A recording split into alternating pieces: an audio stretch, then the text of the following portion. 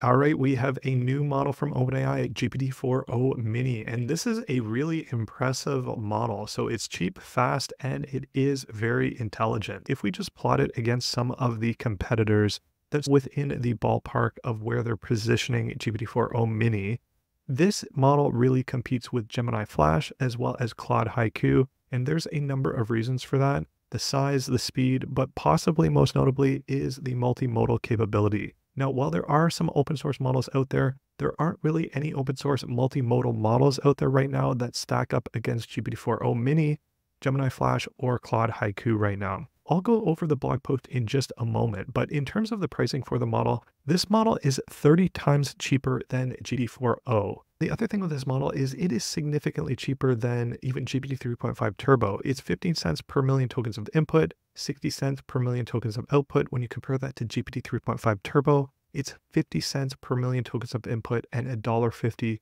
per million tokens of output. Really considerably cheaper across the board. And mind you, this also has the vision capability built right into the model. So I wanted to pull up this chart that I saw from Artificial Analysis, which is a really great account to follow where they benchmark a ton of different LLMs across a number of different metrics as well as different providers. And you can see in this chart is plotting the MMLU. So you can think of that as the intelligence of the model across the price of the model. And it really stands in a category of its own. But you can see that it's cheaper than Gemini 1.5 Flash as well as Claude 3 Haiku. And then it has a significant bump in that MMLU score like we had already talked about. That's another thing to consider when you're choosing a model is whether you'll need that multimodal input like images and what have you. On the multimodal note, if we hop back to the blog post here, what's exciting is that as of today, it supports text and vision within the API, but there are plans to support text, image, video, and audio input in the future. So we don't know exactly when,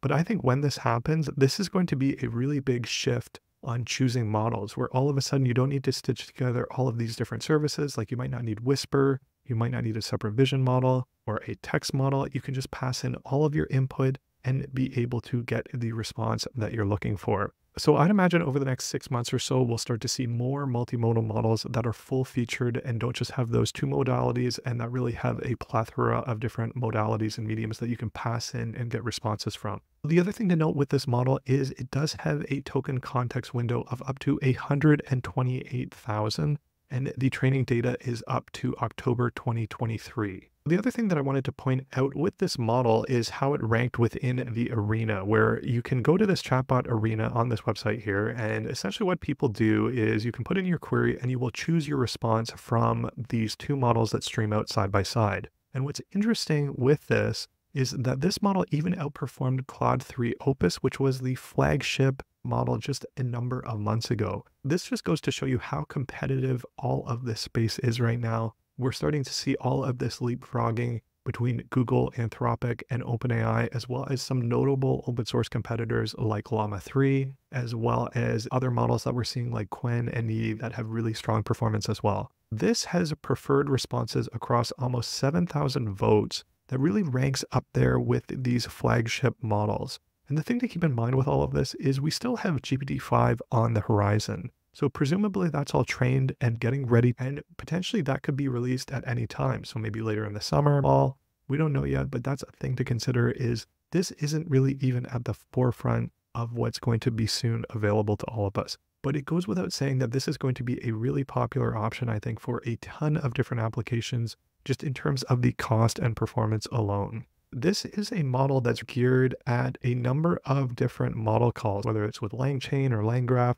not just one sort of simple text in, text out response. There might be a graph or sort of a cognitive architecture, as Harrison Chase puts it, where you'll have this application that will go in and do a number of different inference calls depending on where it is within the application and what it's being asked to do. This model is really geared to those types of applications, though it can definitely be used in a conversation sort of history scenario, or say if you're passing in that whole history and context of a conversation, this is going to be a way that is really cost effective as well as getting some good results in terms of the responses back and the quality of the model overall. The MMLU is always the flagship metric for these models when they come out. You'll always see the MMLU as the first benchmark for these models, which is the general intelligence of the model. And you can see that it really outperforms pretty much across the board And the wide margin is really from GPT 3.5 Turbo to GPT-4o Mini, in my opinion, because this is really the model that they're aiming to replace on their platform. It's going to happen overnight, but arguably you can switch to this model and your application will be considerably better and cheaper overnight. You don't need to look to another provider, all of that.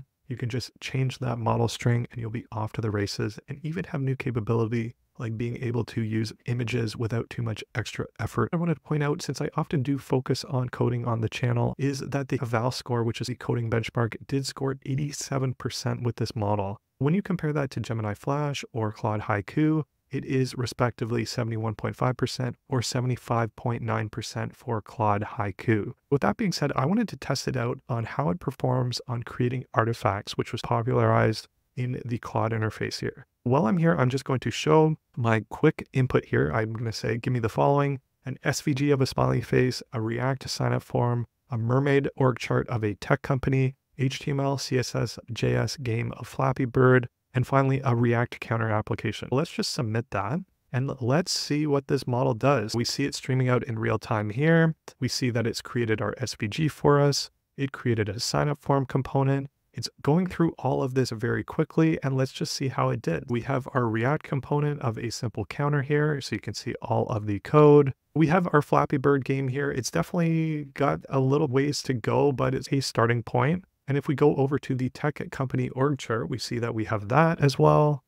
We see that it's able to create a sign up form and we see that we're able to have a smiley face. So one, this really cheap model is able to do all of that. Right off the bat, in terms of the work that I do, this is definitely going to be a model that I'm going to be leveraging in some of my upcoming applications that I'm building out for everyone. Just go through a couple other things within the blog post. They mentioned that they partnered with some companies like Ramp and Superhuman, which both found that GPT-4o Mini performed significantly better than GPT 3.5 Turbo for tasks such as extracting structured data from receipts, or generating high quality email responses when provided with thread history. There's, of course, almost at this point, the obligatory built in safety measures that you can expect from OpenAI, Google, as well as Anthropic whenever they release a model. There's always some good information that you can read up on the safety practices that they've implemented within the model. And then in terms of the availability and pricing, it is available now from the Completions API as well as the Batch API. And they're even going to be rolling out fine tuning for GPT-4o Mini in the coming days. In terms of ChatGPT, this is going to be available on their free plus and team tiers